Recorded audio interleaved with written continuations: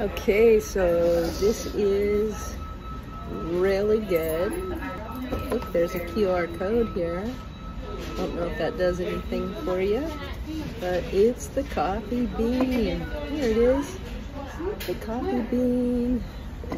And it's delicious, and they're making bold, dark coffee all day. So that's good to know. For those of us who enjoy bold, dark all day is good. And Lois Threlkel, Ladies of Justice League.com.